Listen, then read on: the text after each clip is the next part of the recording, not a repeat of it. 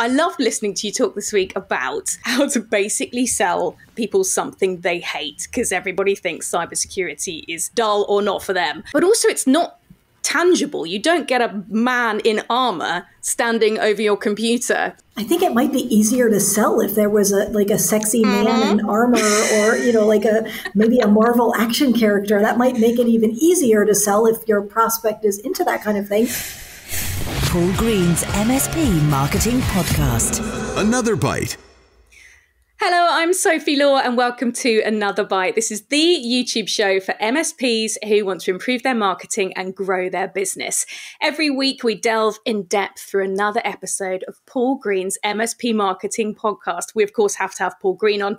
I tried to get that out, there was no question about it, uh, but also sometimes special guests, including this week. But we will start with Monsieur Green himself, because you said in the podcast this week to start at the end, or start with the end, or something about the end? Yes, it was to start with the end in mind. So, this is a famous saying from a guy called Brian Tracy. And Brian Tracy is one of the most famous self help gurus of all time. And somewhere in his wide body of works, he wrote Start with the End in Mind. So, what he means is you kind of visualize and figure out what the end result needs to look like before you plan how to get there. So, for example, let's say you were writing a book. I mean, let's take let's take this book here, which is a very very fine book, and we may be talking to the author of this book in a second. Uh, but I'm sure that the author of this book had they they knew what they wanted in that book before they sat down to write to write a word of it. So they knew how they wanted to influence the reader. They knew what the message was they wanted to get across, and and that was what they started with. And then they they probably worked backwards and worked out what chapters they needed to go in there before they ever wrote a word. What if you're listening to that and thinking? I would love that. I'd love to have like a day or a week to go off and plan the end. But I'm too busy fighting fires daily fires. You know, I either don't have enough staff or I've just got too much on my plate to plan the end? Yeah, that's a really good question. And luckily, we have a superpower to help us. And this superpower is called sleep. You see, when we talk about planning the end in mind, you don't actually need to be conscious to plan the end in mind. Now, what I'm going to say here might sound crazy, okay. but it, every single human on the planet has this ability. When when you want to solve a problem. The, and, and you just can't get your head around that problem, particularly if it's late in the day.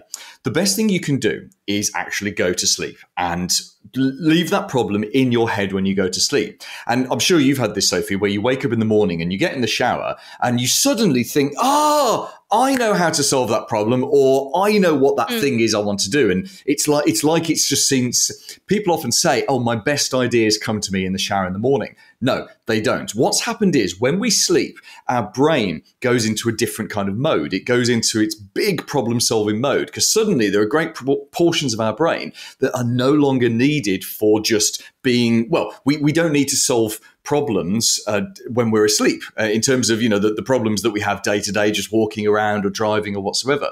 So suddenly a huge proportion of our brain is dedicated to problem solving. And anytime i find i've got any kind of problem or a plan or something i want to achieve the first thing i'll do is i'll actually give myself two or three days to think about it and then not think about it. So i'll keep it top of mind. I might have it as a post-it note up in front of my desk or something on the refrigerator or something like that but i keep it front of mind but i try try not to act- actively think about it. And what happens is I wake up with really good ideas. So my, my brain is doing all the hard all the hard thinking, so I don't have to do that hard thinking.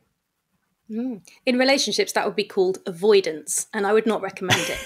Um, the other thing I wanted to ask you about was the idea of letting go. So you were talking about even if you don't plan to sell your your business for years and years, to think about um, how to operate the business without you, or can the business operate without you? Um, but isn't it really hard to let go when it's your baby? It's not just you thinking about your next job in another company. This is something you built. So, any tips for letting go? Yes. So, I I, I did this in a previous business. Uh, I had a marketing agency which I sold in 2016, and I'm actively doing it in this business I have now. So, that this business is currently six years old. Uh, we have a great team, and I'm probably 20% away from not being necessary. So the, the business will still you know be my baby. It will still be something that um, I will want to uh, be involved with, and obviously I, I, I do the, the the fun stuff like this and working directly with our clients. But the critical thing is when I've finished that process of essentially working myself out of the business, letting go of it, I then have a choice. And my choice will be what work do I want to do in the business? That I enjoy. So I love filming stuff like this. I love doing the podcast. I love talking to people like our guest Jennifer. I love talking to our clients. What I don't like doing is invoices. I don't like admin. I don't like emails. I don't yeah, really enjoy running projects. Stuff all the boring kind of stuff. So letting go is actually not really about letting go of your baby. It's actually, I tell you what it is. It's it's the it's about spending quality time with your baby. So anyone with children will know that when your kids are like three or four, it's not really always quality time because three and four year old kids are just annoying. And yes, you have moments mm. where, oh, aren't they cute? Aren't they lovely? And then you have other moments where, can you, Dad, I can't sleep, you know, and, and you're, you're trying to chug a beer and watch a horror movie on Netflix and they want you to go up and read them another story. When they get to like 11, 12, 13, it's, it's the opposite in that they don't need you for all of those things. But then you have, you might go for a, like a 30 minute drive with them and you have the best conversation ever, just you and them. And it's really quality time. And that's, that's how I think you, you have to transition with your business. You have to push your, te- your business into those teenage years where you're choosing to do just the fun stuff with your business. That's how you stay in love with the business.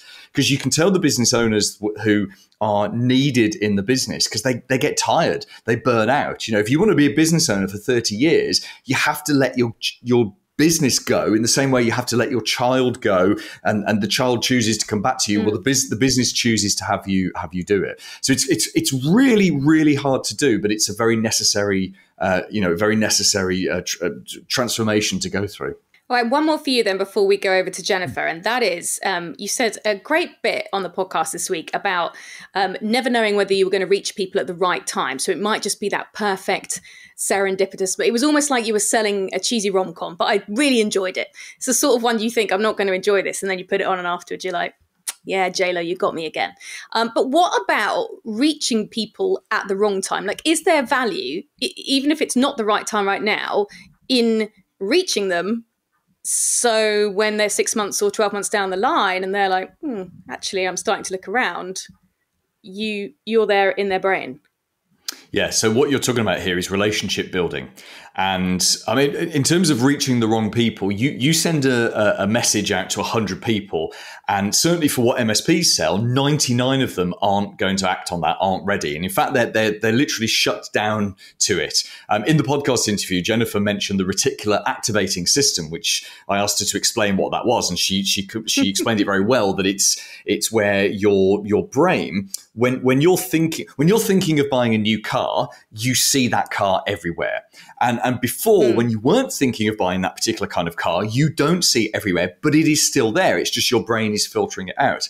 So when you when you send marketing to people who are years away from switching to a different MSP. It just doesn't go in. They don't see it. It's just not important to them.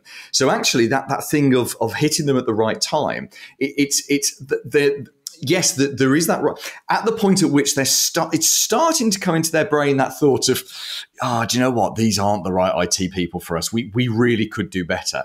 At that point, even if that's six months before their contract is up, their reticular activating system is suddenly the gates are open, and they're, they're the, it's it's a, an opportunity for the messages to go in, and that's why a lot of the marketing that I recommend is long term relationship building. It's things like writing a book, writing guides, you know, writing a buyer's guide. It's putting people on your email list. It's sending out a physical printed newsletter to them. It's sending them other stuff in the mail. It's doing social media content every single day. Because what you're looking to do is every single day you're looking to get in front of people who, who it's nearly the right time, but for those whose reticular activating gates are open, you want to make sure that you, you don't miss a trick to be in front of them.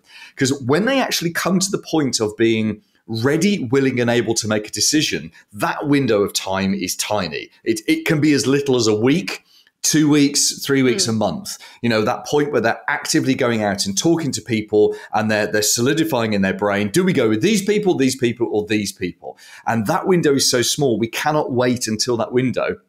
Ideally, we want to build a relationship with them in the months and months and months before they get to that window. So you mentioned there neatly, it's like writing a book. I wonder if you have a book nearby that you could just, well, I don't know, wave around you, in front of the camera. You know, I haven't got one yeah. book. I've got two books. I've got two versions of the same book, what which is which is pretty cool. Are the chances of that?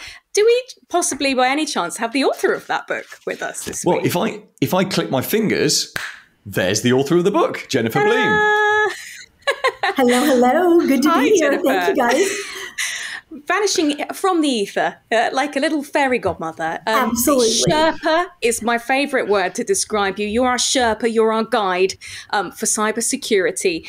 And I love listening to you talk this week about. Um, how to basically sell people something they hate because everybody thinks cybersecurity is is you know dull or not for them and uh, what I wanted to ask you is is there a bit of a double edged sword because not only is it something you know you hate or that bores you but also it's not tangible. You don't get a man in armor standing over your computer, sadly, um, you know, every day.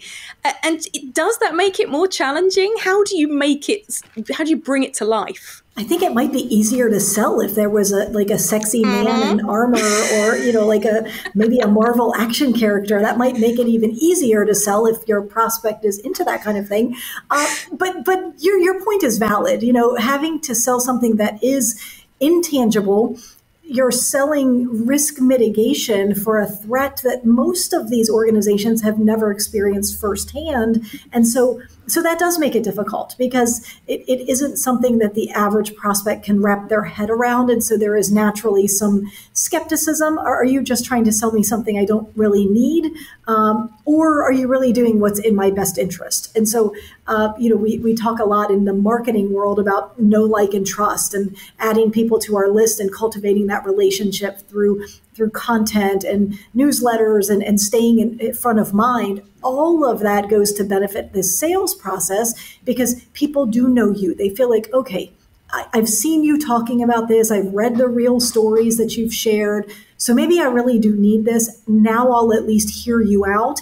It, it lowers it lowers the resistance just a bit. And you were a guest this week on Paul's MSP Marketing podcast. But in case people haven't listened to that, uh, the book is out there now, and you know you're you're getting feedback, and hopefully, and people are reading it. Is there one tip or one fact in there that you're really enjoying, sort of blow people's minds or like enlighten people that they just hadn't really considered before? So the the one that is that I'm hearing the most is, and I don't have the page number, but there's a beautiful Venn diagram inside of the book uh, where really cybersecurity sales can be distilled down to two two arguments. If you want to look at it as as if you're you're in court, um, and the first argument that you have to prove is that a cybersecurity incident will be highly impactful for the business owner. If they do nothing um, and they and something does happen, it will deeply impact their business. And so you have to prove that. You have to get the prospect to agree with you that, okay, if something happens to me, it, it will deeply impact my business, very impactful. And the second piece that you have to prove, that second argument, is that if you don't if you don't prove that it is likely to happen, uh, then they won't invest because why? Why would they invest in, in fairy tales? I, I'm paying my, you know, I'm investing my money. I'm paying my money to you to stop a threat that I don't think is ever going to help, uh, to, ever going to come to me.